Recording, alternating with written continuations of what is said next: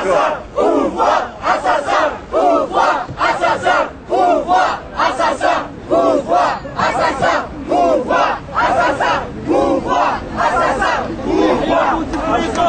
كلنا إرهابية كلنا أبو يحيى كلنا إرهابية كلنا أبو يحيى كلنا إرهابية كلنا أبو يحيى كلنا إرهابية كلنا أبو يحيى خالد مزار وربع توسيف que vous avez annoncé. Voilà. Généraux. Amari, Khalid Nizar, pareil, dégagez tous.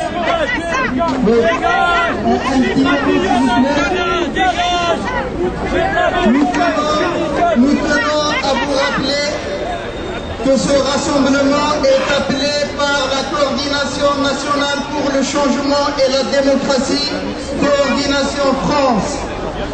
Des associations, euh, des associations culturelles, politiques, euh, des collectifs étudiants se sont réunis récemment suite à l'appel d'Alger pour, pour reprendre les mêmes mots d'ordre, ceux établis par la coordination nationale. La coordination nationale en Algérie, c'est-à-dire constituée par la Ligue de défense des droits de l'homme, le SATEF, le syndicat SATEF, le SNAPAP, le RCD, le PLD, le MDS, euh, des personnalités politiques, euh, syndicales se sont réunis sur un minimum. Ce minimum, c'est l'état d'urgence. Aujourd'hui, après le discours de Bouteflika face, face à cette montée de la résistance des Algériens, il a dit qu'il lèverait l'état d'urgence. Nous, on demande la levée de l'état d'urgence tout de suite.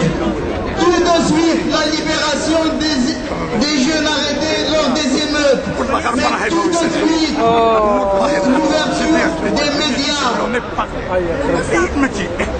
Le travail et la justice sociale, une Algérie démocratique et sociale. Parce qu'aujourd'hui, en Algérie, les tenants du pouvoir confisquent toutes les richesses. Toutes les richesses nationales sont entre les mains d'une caste, entre les Bouteflika, Kouahia et compagnie. Donc aujourd'hui, ce n'est pas un seul parti qui appelle à ce rassemblement, mais plusieurs partis politiques, y compris ici en France. Il y a plusieurs associations et on vous invite à venir participer librement démocratiquement à nos réunions parce que le combat ne fait que commencer. Et je viens d'avoir quelqu'un à Alger qui me disait actuellement sur la place du 1er mai. Bien sûr, il y a des manifestants, il y a, il y a des personnalités, mais il y a plein de flics en civil qui sont en train de perturber, de provoquer les, les, les- les- les manifestants. On vous tiendra au courant au fur et à mesure.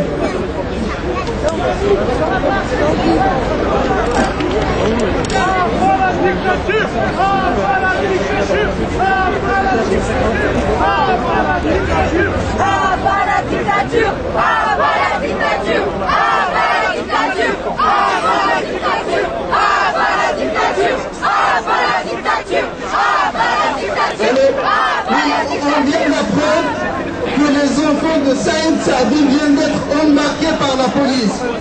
En plus des députés, des manifestants, on vient d'apprendre à l'instant qu'ils s'attaquent même aux enfants des responsables politiques.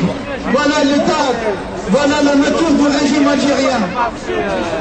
Pouvoir assassin Pouvoir assassin Pouvoir assassin Pouvoir assassin Pouvoir assassin Pouvoir assassin Pouvoir assassin Pouvoir assassin National, j'ai juste envie de dire, dans l'Algérie d'aujourd'hui, c'est tellement normal qu'ils embarquent sans, aucune, honte.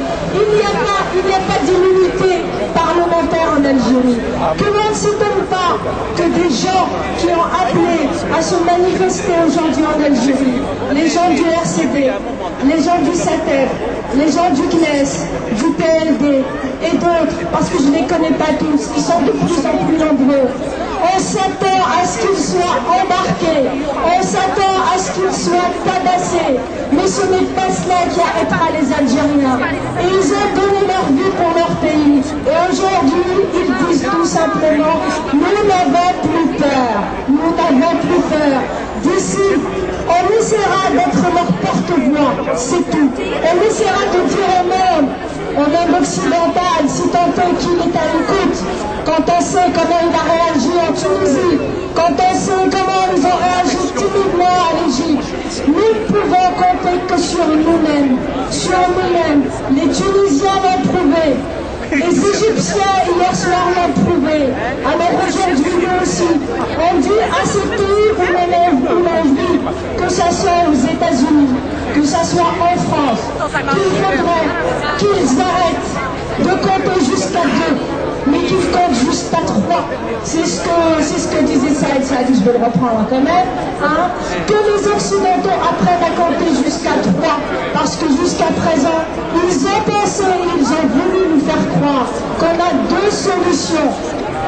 Le régime intégriste ou le régime policier. On leur dit depuis troisième voie qui est celle des démocrates. Ils ne nous ont jamais écoutés. Voilà ce qui arrive. On ne nous demande pas la gérance, on peut s'en sortir tout seul.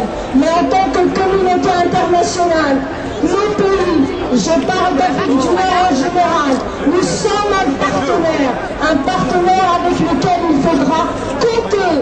Et c'est surtout, ce ne sont pas les régimes en place avec lesquels il faudra compter. C'est avec nous, parce que nous aussi, on est ici on n'est pas ici que pour gagner de l'argent parce que l'euro coûte plus cher que le dinar tunisien ou le dinar algérien. Non. Et nous ici, sommes une force de travail. On est des gens qui avons la possibilité de, de voter, de voter aussi aux élections françaises. Alors, messieurs, dames, vous savez quoi? Nous sommes 4 millions d'Algériens. Ce n'est pas moi qui le dis, c'est le consulat algérien. On émet des réserves sur les chiffres qu'ils disent, on veut bien le croire, il y en a peut-être un plus de 4 millions. 4 millions, ce sont des voix, messieurs, dames. Il y a des élections en France,